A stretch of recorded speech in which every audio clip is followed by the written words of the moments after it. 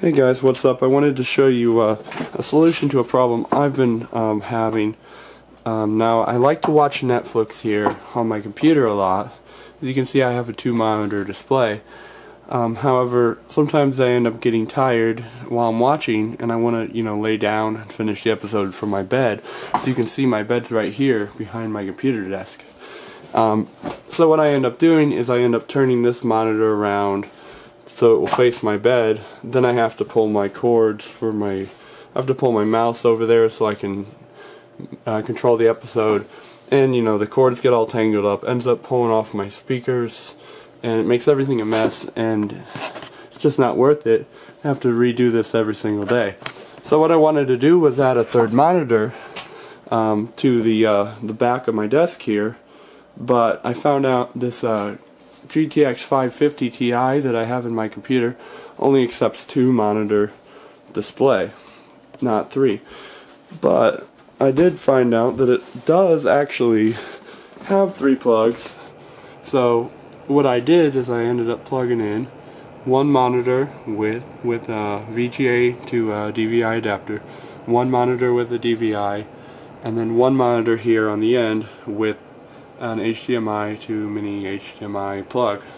So while there's actually only two monitors active, I do have this third monitor plugged in on the back side of my desk.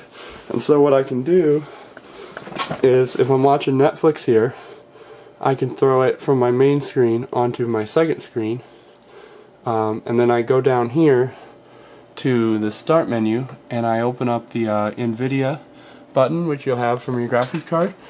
And then from here you can see the third monitor has been detected. I can go ahead and turn off the second monitor and turn the third monitor on and then save that. It'll ask me if I want to apply that. I'll say yes. And you'll see my second monitor is turned off.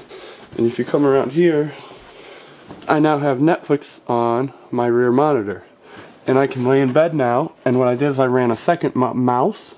Now two mouses can be plugged into your computer just fine. So I plugged two in and I can actually sorry guys I had a phone call there. Uh, but then you can see now since I have um, Netflix over here I can watch my Netflix. And then all I have to do when I want to go back to my main computer is go back down to the uh, uh, actually come over here to the main computer again and go down here to this uh, HM uh, the NVIDIA page again and I will then disable the third monitor and re-enable the second monitor and when I apply that I will be back to normal and good to go again for my normal computer use. Uh, so thanks for watching. Hopefully this might help someone who might be in the same situation. And uh, we'll see you guys next time.